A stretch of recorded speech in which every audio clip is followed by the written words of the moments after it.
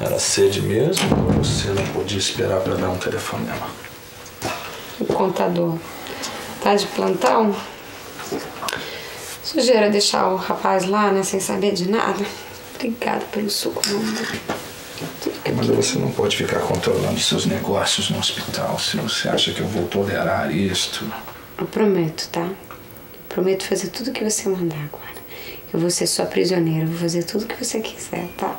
Tudinho. Pelo menos aqui no hospital, não é? Tenta ser um pouco mais sensata. Quando você for pro seu trabalho, pra sua casa, aí sim, você faz o que você quiser. Você já tá sabendo, Chico? De quê? Você conversou com o Dr. Orlando? Não. Sobre o quê? Que eu não posso mais mexer minhas pernas. Como se elas estivessem mortas. Como se eu tô paralítica. Não, não faz essa cara não. O Dr. Orlando disse que pode ser só por um tempo, por alguns meses. Meses? Mas eu acho que ele tá com medo de dizer a verdade, Chico. Eu acho que ele sabe que é pra sempre. Eu nunca mais vou poder andar.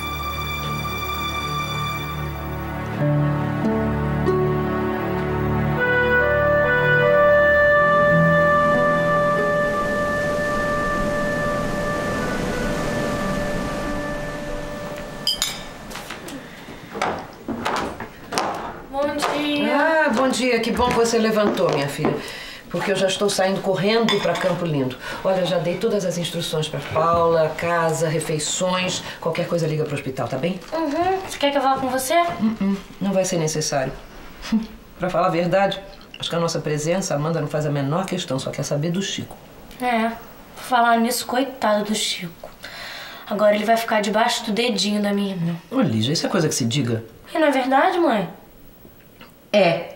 Mas tem algumas verdades que a gente não deve dizer, minha filha. A senhorita chegou um pouco tarde ontem. O que você estava fazendo, hein?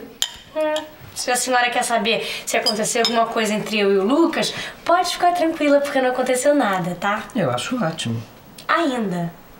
Ai, Lígia, vai com calma, minha filha. Tô vendo que as suas intenções não andam nada inocentes.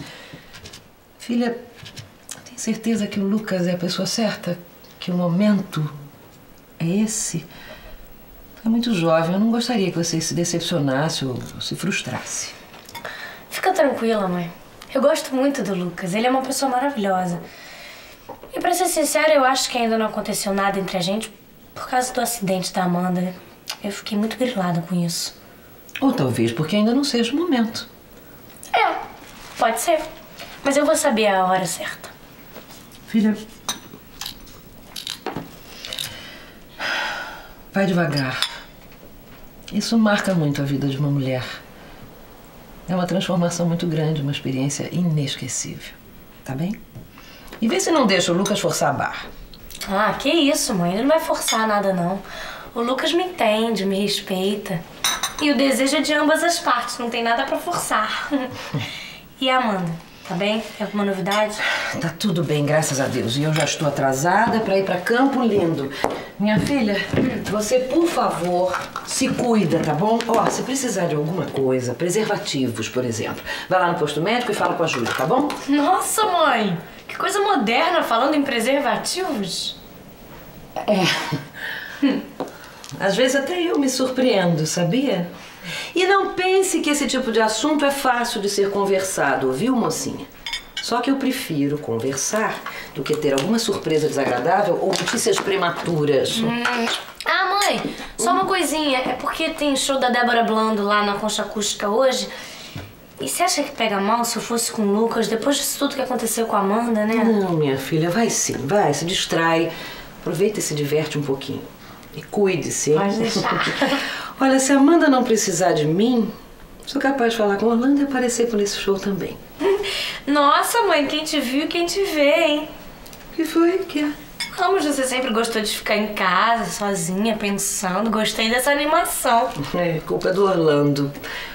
Ele está me ensinando a viver. Acho que estamos aprendendo muita coisa juntos. Bom, deixa eu ir que eu tô atrasada. Lígia? Você está crescendo, viu, moça? E não é mais a minha menininha. Até parece, mãe. Você sempre é sua menininha.